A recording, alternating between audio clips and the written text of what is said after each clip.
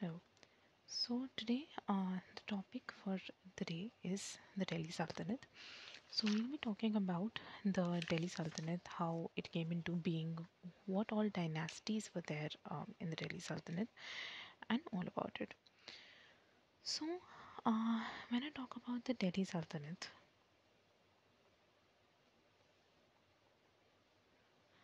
the entire period of the Delhi Sultanate is from 1206 to 1526.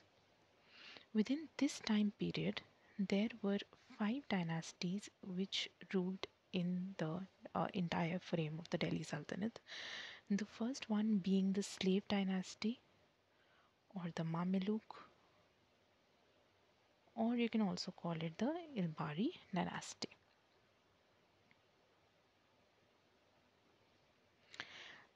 This dynasty basically ruled from 1206 to 1211. Sorry, 1290. 1211 was the first uh, part of the dynasty. It was a Qutbi dynasty. The second is the second dynasty under this is the Khiljis.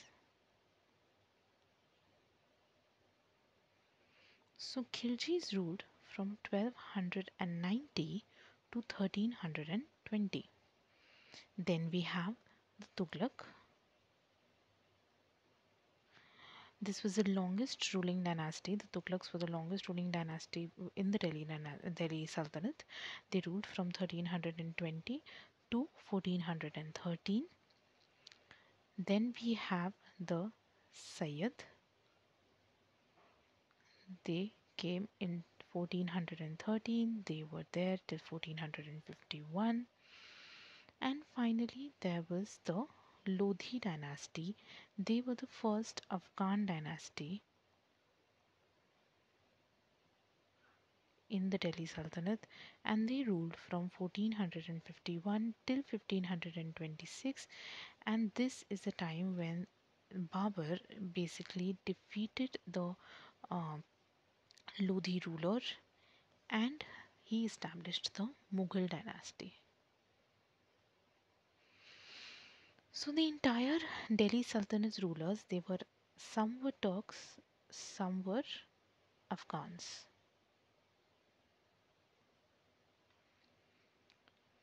Okay. So starting off with the first that the slave or the Mamluk or the Ilbari, what do you mean by Mamluk? Mamluk basically is the Arabic word for owned. And this was basically used to differentiate the people who uh, were taken in as domestic slaves versus the people who were placed a bit higher and were, you know, made governors. So this word Mamluk was used for them. Now, in this particular slave dynasty or the Mamluk dynasty also we have three segregations. One is the Qutbi dynasty that is from 1206 till 1211 then from that then we have the first Ilbari dynasty. So first Ilbari dynasty this is from 1211 to 1266 then we have the second Ilbari dynasty and this is from 1266 to 1290. This was founded by Balban, this was founded by Iltutmish and the Qutbi dynasty was founded by Qutbuddin Aibak. So first of the ruler like we just said is Qutbuddin Aibak. He was ruler from 1206 to 1210 when he died while playing chaugan. So Qutbuddin Aibak was a Turkish general under Muhammad Ghori and he helped Muhammad Ghori consolidate his power in the northern part of India as well as he helped him during the Battle of Tarain. He played a very important role at that time. So after the death of Ghori in 1206, he became uh, I mean, uh, Qutbuddin Aibak basically he became the uh, uh, sole ruler of the entire estate of uh, Ghori in um, India. But he kind of faced some defiances. One was from Yalduz. Who was Yalduz? Yalduz was the uh, ruler of Ghazni. So he claimed his um, rule over the Indian estates. Second was from Khapcha. He was the governor of Multan and Unch, and he basically also rose in defiance. Many Rajputs rose in defiance, and they also succeeded in um, getting the Badayun and Farrukhabad. Uh, he they, they succeeded in uh, sending away the Turks from the Badayu and Farrukhabad. So in this time, what uh, Qutbuddin Aibak did through his various military and conciliatory measures, he defeated um, Yalduz and he severed all his ties with Ghazni. He also took over Multan and Punjab. He took took that back and he um, reconquered Badayu as well as Farrukhabad also. Now, uh, Qutbuddin Aibak took the title of Sultan. He was also known as Lakh Baksh. Lakh Baksh why? Because he was um, he was very uh, liberal in giving all the donations. So he was known as Lakh Baksh. He built the first mosque, which is a Quwwat Islam, Quwwatul Islam, sorry, Quwwatul Islam in Delhi. He is also credited with building of Adhai Din Ka Jhopra. Then um, he is also uh, I mean, he's also credited with the building of Qutub Minar, as we all know, but he could only build the first floor and he soon died in 1210. This Qutub Minar is built in the memory of the famous saint Khwaja Qutubuddin uh, uh, Bakhtiyar Kaki. So he built, he was building Qutub, Qutub Minar um, in his remembrance, and this Qutub Minar was then finished by Iltutmish. The last thing that we have to talk about is the some people that he patronized in his court. So in his court there there was uh, two very famous scholars. One was Hassan Nizami who wrote Taj sorry Taj ul Masir. And other scholar was Faq Din who wrote Tarikh Mubarak Shahi.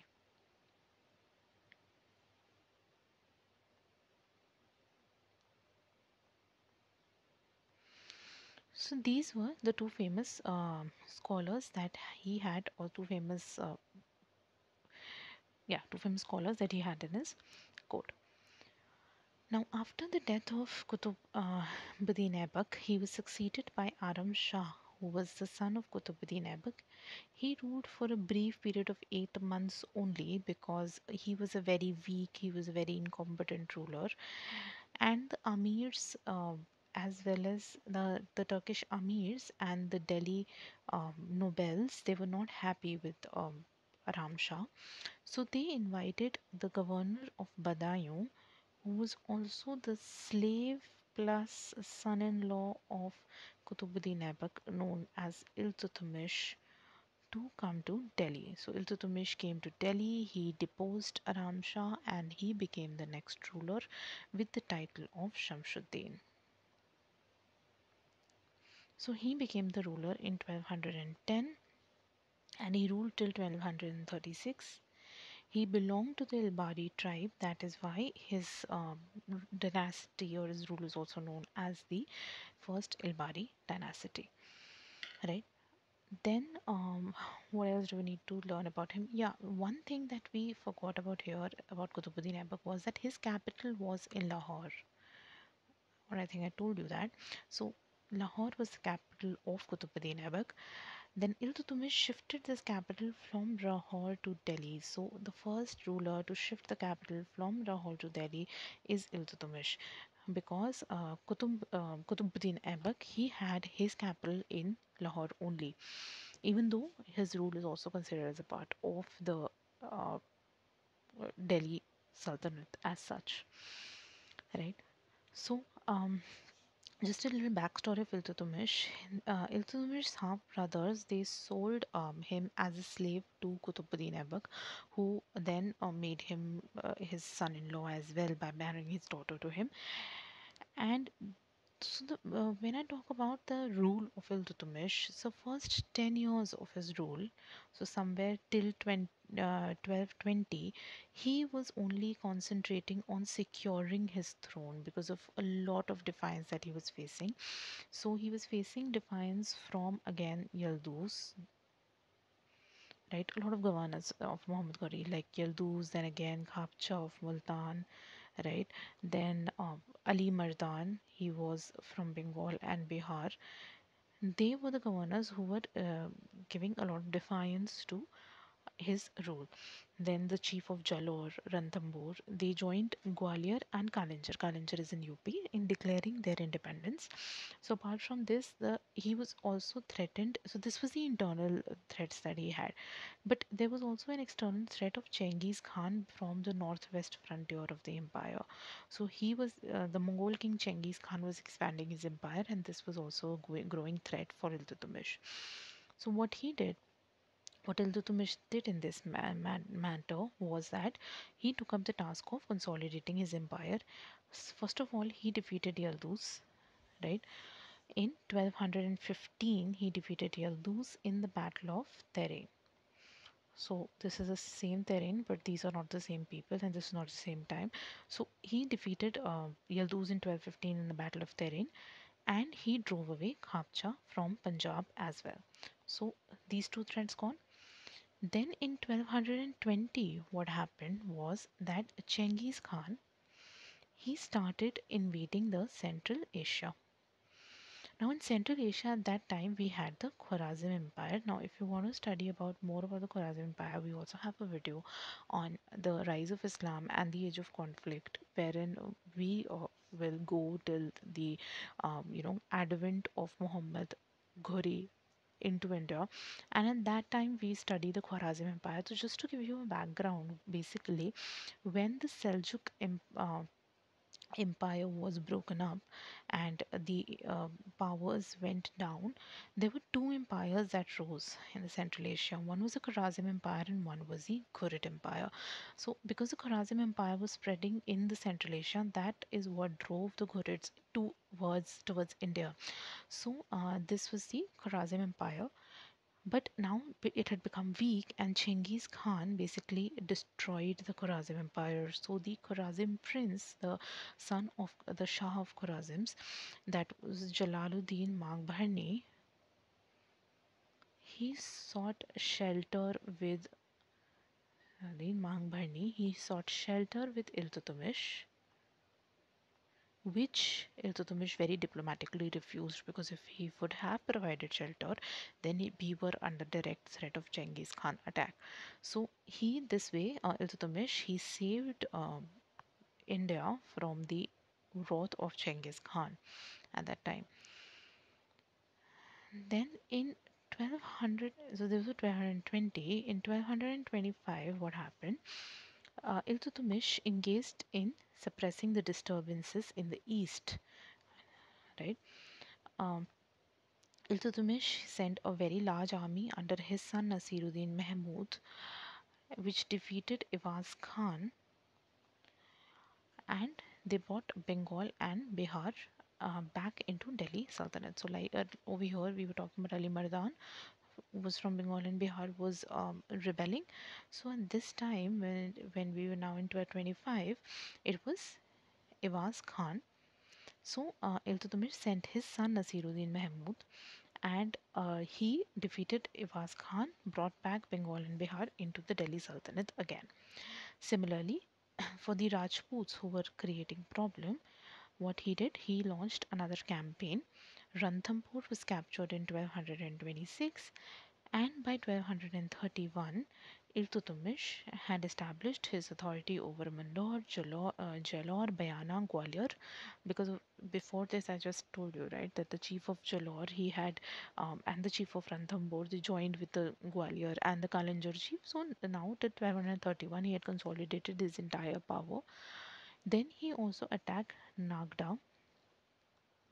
This is the capital of Mewar, but uh, had to retreat because the Gujarat armies came in, and as a revenge, he led then expedition against the Gujaratis, the Chalukya rulers, and um, but he was not successful. The Chalukyas, they have, as uh, you know, if you see the past history also, they have been comparatively undefeated. Then uh, he divided in his empires into iktas. So this was the territorial conquest of Iltutmish. He had a very, uh, you know, uh, very happening territorial life, as so as to say. Then he divided his uh, entire empire into iktas, that is assignment of land in lieu of territory.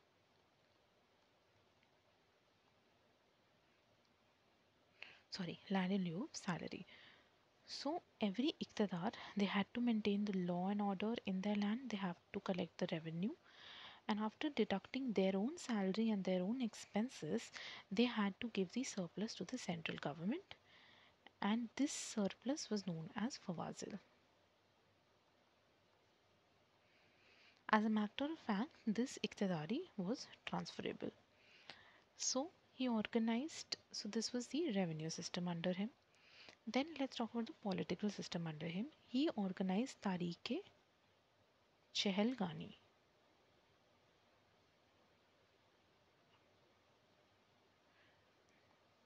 This was a new class of ruling 40. And uh, powerful military leaders, the 40. So these were Turkish amirs, Turkish nobles. They advised, they helped the Sultan in administering the entire Sultanate.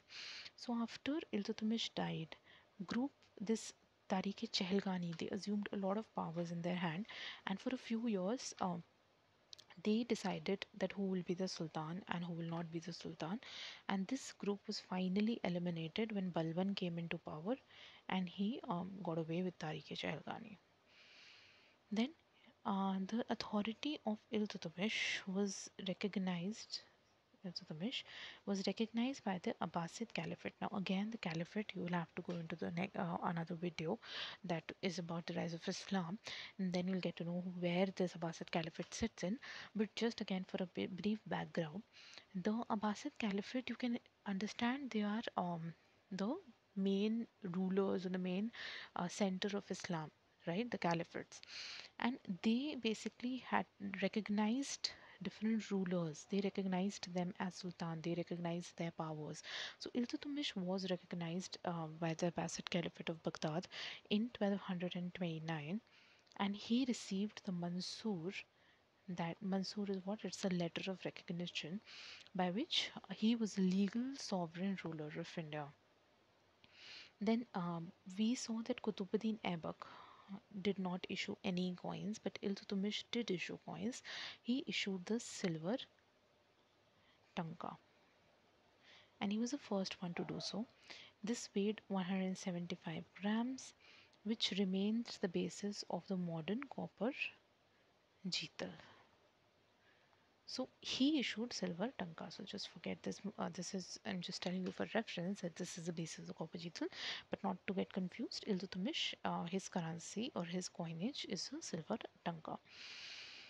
Then Iltutmish is also uh, regarded as a father of tomb building, and he um, completed the construction of Qutub Minar, which is the tallest stone tower in India. So Qutub Minar is 238 feet and Iltutmish was the one uh, who finished this tower right? Then um, if I talk about his patronization the people um, he pa patronized he patronized Minhaj. Sorry. He patronized Minhaj ul Us Siraj. So he patronized Minasus, Minasu Siraj, who was a com- contemporary historian, and he wrote Tabaqat-e Nasiri. Tabaqat-e Nasiri. So this was a book that he wrote. So since uh, Iltutmish did not consider any of his sons uh, as worthy for succession, he appointed his daughter Razia as the successor.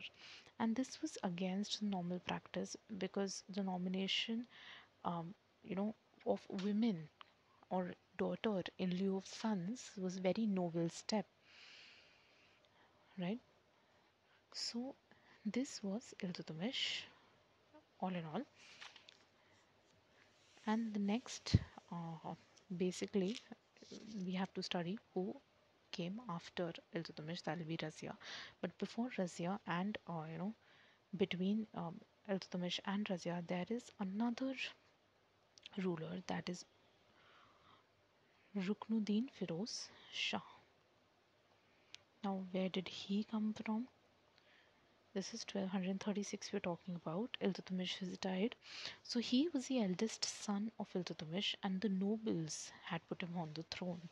Remember the Turkish Elgani, they assumed a lot of power. They put Ruk- uh, Ruknuddin Firoz Shah on the tomb. So he took rides on elephants in Delhi. He distributed golds, gold like that. So he used to take rides and used to, you know, distribute gold. And the government basically was headed by Shah Turkan he was originally a Turkish maid, so he handled the government.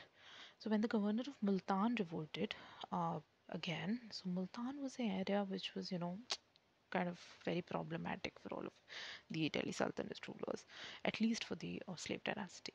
So when the governor of Multan revolted, Ruknuddin went to uh, suppress the revolt, and on this opportunity, Razia, with the support of the amirs of Delhi, she sat on the throne or she took the throne and both Firoz Shah as well as Shah Turkan they were put to. So this is till Razia and the second part of this we'll we'll cover in the next video. That will be from Razia. Then we'll go to Behram Shah then Alauddin Masood Shah Nasiruddin Mahmud and then we'll come to Balban who will be um, again the second Ilbari dynasty. And finally Kaiqubad with whom the slave dynasty will come to an end and we'll start off with the Khalji dynasty.